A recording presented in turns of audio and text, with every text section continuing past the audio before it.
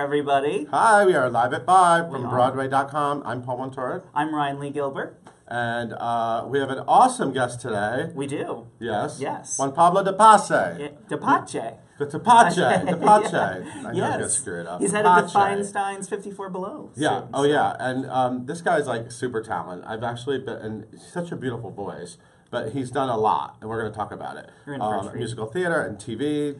He was Jesus, all kinds of things. Fuller House. Yeah. Yeah, Anyway, everything. Um, he's super talented, and we're excited he's here. But first, uh, yes. Uh, but first, we have a lot. There's Yeah. so much news. There's a lot There's of news. So much today. news Really today. exciting. A lot of a lot, a lot of our favorites are involved today. So first of all, the big news of the day early this morning: Sara Bareilles going into Waitress on Broadway, taking over the role of Jenna from Tony winner Jessie Mueller. I feel like we knew this was going to happen. Yes, this is one of those things that we've been talking about for a little while and hoping, and then it, it all came true to this morning. And it's actually So- kind of funny because certain things that we know are going to happen, we write the news story ahead of time. So it's been sitting there. I feel like we've had this story written for so Right. long, and then exciting, we though. finally were able to hit publish. Yes, So, so- uh, congratulations! That's so exciting. Yeah, uh, Jessie Mueller's last performance will be March 26th, and then Sara Bareilles will start in on, step in on March 31st, and I think she goes there through like June 11th or 10 something. weeks, yeah, yeah. so Yep. Make sure you check that out. Awesome. Um, also, Cynthia Erivo, it was announced today, she will perform at the Oscars Governor's Ball for all the Academy Award winners and Fancy. nominees. Yes, Cynthia Erivo. She's everywhere. Just rocketing up there. Yes, Yeah, every- I love yeah. it. Please keep coming back to us, though. Don't Yeah, don't get yeah. swept up in the TV. but you know what? It's interesting. She's not like heading back to London. No, no, no. Like, she's, sticking America around. wants yeah, her, right? She's Like, you know, a lot- a lot of good things right now. happening, so we love that. Also, Darren Criss. We all love Darren Criss. M- multiple Broadway.com Audience Choice I Award think this winner. news might be huge. This is this could be enormous for Darren Criss. You agree okay, with so me. yes, so we all know about American Crime Story. The next The season is this series, yes. Katrina, um, but then the one after that is about the Versace killer. Okay, can I just say when when Andrew Cunanan is a serial killer, Yes. the gay serial killer who Yeah. like killed Versace. His I was so obsessed with this Yeah, case it's- at the time. It's like, one of those typical tabloid serial It was it It's was so crazy. It was like watching a, one of those true crime shows, but watching it in real life Yeah. as it was Oh, happening. yeah. And then they were like after him, and then And then this kept- oh tabloidy was- book came out all about it. And I was and I read all the, and you have too. Yes, well, and I'm, I'm very impressed that you have. You're younger than me. I'm impressed that you've read them. And but Andrew Cunanan. So. Darren Criss is playing Andrew Cunanan. Right, and Which the serial great. killer. Yeah, and we were saying like it makes total sense Yeah. him being part of the Ryan Murphy universe already. Also, he looks eerily like Andrew Cunanan. Yeah, I think he's gonna pull it off. Like yeah. And, and if it's re- if it's received as well as OJ versus you know the people versus OJ Simpson is, this could be huge. And it could be a great. I mean, he's he was such a fascinating character. I mean, Right, he was just like right. kind of like not accepted by the gay community, and Mm-hmm. like like I just feel like there's going to be so much for uh, Darren to like chew on. It's so meaty, yeah. I'm excited. I can't wait. Congratulations, Darren Criss. And Edgar Ramirez was also announced. He will be playing Gianni Versace Okay. as well. When is this So, happening? When are we going Um, to see this? it's I think it's in 2018. Yes, because the Katrina season I'll is hold my breath. Uh, Maybe I'll read all the books again. exactly. We'll re-immerse ourselves. Uh, starting tonight, Arthur Miller's The Price with that crazy cast: Mark Ruffalo, Danny DeVito, Jessica Hecht. That starts this evening. This is a great play, by the way. I remember this play the last time it was revived. I great, love great Arthur play. Miller. Yeah, Arthur Miller. So much Broadway Yeah. Arthur Miller recently. Um, Ali Stroker, who we all love She's from the Spring Awakening revival. Yes, she is cast in this new show on ABC called Ten Days in the Valley, which airs later this year. That title sounds so familiar. I know it Isn't that does. I was something sitting else? here trying. I, I feel like There's something, something else in the valley. There's Yes. a lot of things in the yeah. valley. Well, this is ten days in the valley. 10 days. Uh, and that, I hope she's there for all 10 days. Me I hope too. it's a good part. Yeah, that's right. ABC later this year. Um, a George Michael benefit concert at the Highline Ballroom has been announced for April 24th. Big people performing there: Javier Munoz, Cheyenne Jackson, Titus Burgess, Erica Bergen, Erich Bergen. They're all slated to perform. I'm obsessed with George Michael. I He's know. like he's like my, one of my favorites. So Now, the, the, you know, the check that out. Grammys were its own thing, but Adele's performance was incredible. Right. Um, British comedian Miranda Hart, who you may remember if you saw that movie Spy Yeah. with Melissa McCarthy, she was that movie. amazing in it. Uh, she is going to make her West End debut in the uh, Annie revival at Piccadilly Theater on Miss May 23rd. As, she, as Miss Miss Hannigan. Hannigan. Yes, that's that's a great combination right there. She was Yeah. hysterical in Spy. Uh, Timothy Ware, who used to, who was the Lola standby Yes, uh, in I Broadway's remember. Kinky Boots. Yes. He is taking over the role of Lola on the tour because J. Harrison Ghee Oh. is going to the Broadway production of. They just, you know, the Lolas. They just make their way around. When, when, what's his Uh, first city? Where does he So his first city will be Spokane, Washington, on February 28th. So, and then he's sticking around for the whole third year. cool. Uh, Tracy Letts, uh, he had a big night last night. His new play, Man Right. from Nebraska, Right. opened, and then it was announced. That wasn't enough. He wanted to be more in the No, news. he wanted to take over the whole day. He's conceding nothing to Darren Criss. His new play, The Minutes, which will premiere at Steppenwolf Theater in Chicago first, then will come to Broadway next spring, February 6th, 2018, at a theater to be announced. That And- shows a lot of confidence in a play. that Yeah. It hasn't even been done, and they're like, this is good enough. We're taking it to Broadway. Right. Well, and Anna D. Shapiro, who directed Tracy Letts's August Osage County, will be directing this as well. So, Cool. dream team right there. Awesome. Um, a few features that you can check out on the site right now: the Man from Nebraska photo opening night gallery, a new episode of Let's Have Lunch with Mr. Michael Episode Xavier. five. Yes. Backstage at Sunset Boulevard. Sunset haven't watched it yet. Boulevard, big news last night too. Oh yeah, so Hillary, Hillary, Yeah. Hillary's making the rounds. She's just seeing lots of theater. she, I feel like she saw more theater than I did last week. She is, yeah, she should be a Tony nominator. now And how do I know At a show? Because my fa- well, last night was actually interesting because it was a press night. Right, So yes. a lot of uh, our colleagues were there, and a lot of my Facebook friends were there. So Mm-hmm. But all of a sudden, there were just bad, blurry photos of Hillary Clinton from weird From angles from everyone's yes. seat throughout my feed, like one after the next. I was like, all right, all right, I get it. Yeah, so Um, she she checking out some great theater, Hillary.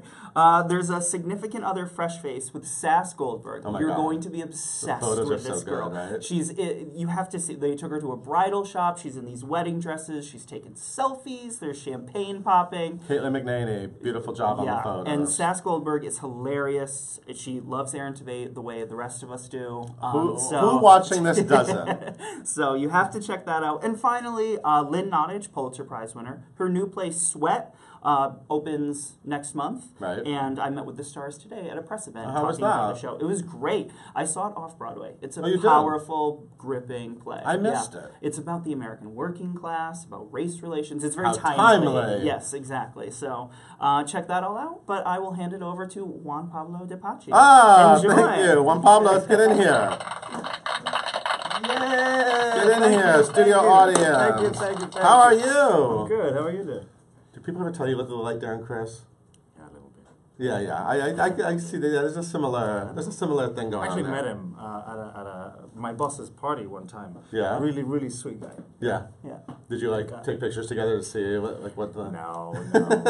I'm embarrassed. How are you? Welcome to Good. Broadway.com. Thank you for having me. So nice to have you here. We got the same name, don't we? Uh, yeah, Pablo is my Spanish name. Yeah, yeah. Um, uh, so you are at 54 Below next week. Feinstein slash 54 Below next what Tuesday and Wednesday Mm-hmm. at 8 9:30, the 20th and 21st. And your show is called Act One, right? or is it not called that Um, anymore? It's called an evening. You had a show with, called Act I One. did, I did. That's that was a typo. It's it was an old show. So Oh, this okay. one's called an evening with Juan Pablo. An evening with. Yeah. I love that. Simple and to the point. Yeah. So what are we in store for here? Is this like what are you? No. Okay. Let's tell people a little bit of your life story. I mean, I'm assuming you're sort of telling a little bit of your story there. Yeah, sure, sure. I mean, you know, it's it is it is kind of like a walk through different moments and misadventures and adventures Uh-huh. of backstage Showbiz. and showbiz Uh-huh. and you know people I worked with and things that I've discovered along the way and uh, peppered with music that I love, songs that You, you love. are from Argentina. I'm from Argentina. You, that's where you were born. Aires, yeah. So is it safe to assume that you're singing either Buenos Aires or Don't Cry for Me Argentina? No, No? Do you ever sing those songs? that would be too much on the no. I don't know. No, We love Argentina There's- because we love that score. There's some Spanish stuff there. but Okay. not those songs. Okay, okay. But you're actually very worldly and very You could international. You could say that. You're very, I'm, I'm like intimidated by how international you are. Right. Because you've, t- let's talk about all the places you've lived and worked and you, you get around. Yeah, yeah, a little bit. Um, I lived. I was born in Buenos Aires, Argentina. Uh, I went to Italy to finish high school for two years. Why, Then I why, went why to- Italy? Because I got a scholarship to this Oh. really amazing international school, full scholarship. My parents couldn't say no because Right. it was all paid, and Yeah. so I just left. I just went. And that was in Italy. That was for yeah two years, and then London for ten years. That's where I studied theater. Right. So that's and that's where this because you ended up in Chicago, right? Right, right. And weren't weren't you on like the posters for Chicago, right? was, For the West End I was. production of Chicago. I remember your face, and then like a sexy girl, right? Like it was like Yeah. one of the yeah. Uh, and the, I saw that production. It was, Did? it's, it's just like was the the Broadway- one, yeah. yeah, yeah. It's a Walter Bobbie production. How did you get in that? Is that your first like? That was my first job ever. Oh, it is. Wow. How'd you get it? How old were you? How how'd that happen? I was I was 20, 22, Uh-huh. and uh, I was I almost I was not finished with um, school, performing arts school. It was like dancing, singing, acting kind of school. And yeah, I, I auditioned, I got it, and uh, I had I had a worse of an accent than I have right Oh, now. really? And they gave me a, a Billy Flynn cover, which was pretty Oh, amazing. wow. At 22, um, and I went on once.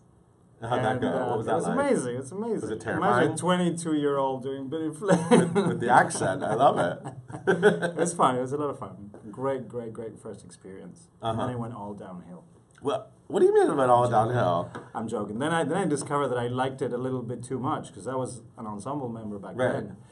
And that one performance, I was like, oh no, Wait a I have to do this. I like being center stage. Yes. so that's what happened. I just, you know, kept going. And, and Yeah, and you did like Saturday Night Fever, right? You were Tony I Manero. I, was. could picture that. I, and I've seen photos on your website. Mhm. Your website has good like good It's archive. be- yeah, yeah, yeah, yeah, yeah. yeah. And then you were in Greece.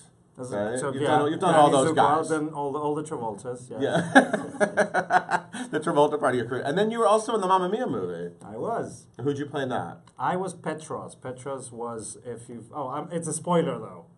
Oh, One father is played by Colin Firth, and Yeah. at the end of the movie, this is not in the play, it's in the movie. He says to Meryl, uh, "You're the first woman I ever loved, and then you're the last woman I ever loved." And I'm the guy who he chose. that's right. I remember. I remember now. what was it like being on that set though? Amazing. with those people, Meryl Streep. That's Amazing. crazy. It was just incredible. It's one of the best experiences of my life because not only Meryl Streep, but everyone else, Christine, you know, Baranski and Colin Firth Yeah. and Pierce Brosnan. And um, just watching them was, was enough for me. I mean, if they told me just bring coffee, I would have done it. You know, uh, they were so amazing, and, and Meryl herself is a sweetheart, and Yeah. and and she turns up on set as if it was her first movie because she's so prepared and so gung ho and and loves just working. You can tell she just loves it. Yeah, I love it. Well, everyone is freaking out because they all love you on Fuller House, and I'm sorry that I haven't brought up Fuller House yet. Fuller House is like the new sensation, right? The new, I mean, it's huge on Netflix. It's Yeah. Full House. Did you watch Oh. Full House? Did, where I did you live when Full House was on? Or Well, I was in Argentina, but in Argentina we didn't get it until like ten years later. So Okay. I was already gone uh, to Europe, and so I never. I mean, I knew about it, but I didn't watch it then. And then, of course, when I got the part, and I, I, I we did the first run in Yeah. front of the audience. It was literally like being in an Elvis Presley concert. A Fuller The House? Fans were like, Because right, they're Yeah. freaking out so I realized then I was like, oh, oh, this is, this is bigger than I. thought. because it's like original cast members Yeah. grown up, and it's crazy. And you play the I play Fernando. Right, which you're Fernando. ex, which is hair, hair stylist, right? Hairdresser Well, was at one like- point. Yeah, it's sort of like a race car driver, a hairstyler. Very worldly, like he you. does a lot of things. Yeah, exactly. He's a multi multifaceted. And uh, yeah, Kimmy Gibbler's um, you know love interest, and the weirdo gets the weirdo. I'm the weirdo too. Is it fun? Oh my god! Do you like doing that con- that style of comedy? I never thought I could. I never thought I was you know good enough to do it because You're not my funny last, in real life. Are you funny mm. like with? Are you like known as like funny around your friends? Are you like yeah, sort of a clown? Of course, I am. Of course. Yeah, of course I am. Not of course. Well, I am a clown. Yes, I'm, I'm, I'm ridiculous in life, but all the roles that I got up until that point were very serious. You know, Jesus Christ. Yeah, you were Jesus. Weren't you like? But don't people on the internet call you like hot Jesus? I think like they that. do. I think they do. like. I- I You're you're one of the line of Jesuses, but you're a hot Jesus. Oh well, thank And what would that? That was AD, right? AD. The Bible. It's called like the Bible. Con- The Bible continues. it's like a It's sequel it's to a the Bible. What was that? I gotta check that out. Basically, what it was is um, Roma Downey and Mark Burnett, who produced Right. the Bible series for uh, History Mhm. Channel. They decided to tell the story of what happens after the resurrection. So it's all about the apostles and how they continued and they sort of created what we now know as Hmm. the church. So the show starts with the crucifixion, the worst time of his life, and, and, and I was involved in that at the very beginning of the season. Wow, very different than Fuller House. A little. A little bit. you, little. you have a lot of versatility there. So, is it safe to maybe think that you want to do Broadway? Of course. I yeah. mean, we're like we're here. We're like literally Chicago's right next door. We're We are we're we're, Broadway. on, it's right, we're right in the middle of Broadway. Everybody, you can't tell, Yeah. but we Times are in the middle of. Broadway. um, of course, I would love to. I would love to. I mean, I, I it's my first passion, really. Music and theater is where I started uh, in England. So for me to do this now at Feinstein's 54 Below, it's a way of saying, hey, you know, I'm I'm I'm one of you. Mm-hmm. Uh, and for sure, yeah. I actually watched every single show. I think most shows in the last sort of week and a half. You mean, you- you've The- just the been, new ones, You've been like I've been show hopping. boom, boom, boom, you boom, and you and Hillary Clinton. Yeah, like we're like this. We're like this. Um, yeah, yesterday was Sunday in the Park with George was amazing. Oh, so good, right? Sunset? Boulevard, amazing. Uh-huh. Dear Evan Hansen, amazing. Oh, you're seeing. Oh, you're seeing all the good ones. On your feet, I really enjoyed that. It was great. Yeah. So, um, yeah, I met Gloria Estefan the other day, the Swedish. met who? Gloria Estefan. Uh, was she there when you went? No, I met her at, at a party, and I was so like in love with how sweet she is. So sweet, Very sweet. amazing. Very sweet. Um, so Billy wants to know the same thing I want to know. What is your dream role? Bobby and company. Ah, you, do you know how often that comes up? There are so I'm many sure. actors A lot of that are going to fight actors. each other. that comes up for, for men. That comes up so often on here. Well, well, I'll give you another one. Valentina on Kiss of the Spider Woman. Oh. That, that's less so. Yeah, yeah, yeah. Yeah. That's good. I, I'll take feel, that one, 'cause and I it's feel like that's Argentinian to too. come back. Like, And That he's has to- Argentinian. I'm Argentinian. We can yeah, it, that's you good. know. I think we should just book that. Can we book that? Let's just do it. I like that. Let's just do that. All right. Well, that's um, appearing soon in Kiss the Spider Woman. Who would be your dream Aurora? You know what? I don't care how old she will be. Chita. Chita. Yeah. yeah. I, I agree. Okay. Chita can do it. Why not? Absolutely. Oh, yeah, of course she could. Yeah. I mean, that Chita. woman can do it forever. Okay. You know, yeah. And I, So- I'm a big fan. I'm Okay. a big fan of both Chita and Rita, actually. Chita and Rita. You know, it, it's acceptable to be a fan of both. Oh, well, I'm I glad love. I, because I, love them I both. love them both. Yeah. And And, so and- they're so different. That's Yeah. why you love them both. Because Well, how could you not love them both? They're amazing. Yeah. They're both amazing Incredible. and inspirational. Royalty. Yeah, Yeah. I agree. Royalty. Uh, is there anything else you want people to know about your show? So it's next Tuesday and Wednesday, Tuesday, Wednesday. nine thirty. It's not called Act One. It's an evening with. Mwah. and uh, yeah, tickets still. What are you still singing? You're singing Broadway singing music. of- yeah, I'm singing. It's it's a, it's eclectic because I wanted it to be dynamic. So there's there's some Broadway stuff. There's some Cool. Sondheim. There's some Kander and Ebb. Uh, but there's also some Michael Jackson and Ooh, nice. ABBA, Uh-huh. and some original songs too. So I've been songwriting as well. Uh, awesome. People also say, what does this mean? You do, what's it like to do your own dubbing on Fuller House? What's it? Oh, because because I'm dubbing myself in Spanish and Italian. When Fuller House is shown in Italy or Spain or South America, it's actually my voice. on- Oh, whereas like other, they hire other actors to Usually do, they but, hire but you other get you got extra get to do it gigs. You're like, hey, I can do this country, do this this, country, yeah, this yeah, guy. yeah, yeah. It's I actually speak a lot of languages. It's the hardest thing I've done, really, because you have to like time your own joke in a different language, Right. And be funny and be in character, but with a completely different language. So uh, it's hard, but it's fun. Right, because you can't blame it on like, well, the guy's not funny. Like if it was, if you were dubbing someone else, you would just be like, that guy's not funny, so I'm Oh, trying, I'm that- trying yeah, my best. Yeah, yeah, that, that translation is crap. It's like, well, it's me.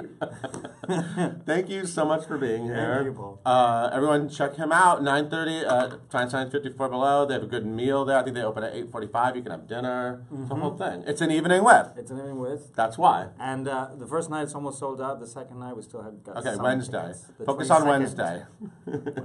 awesome. Thank you so much. So nice to meet you. you. We'll see you tomorrow with another fabulous guest on Live at 5. Wave goodbye.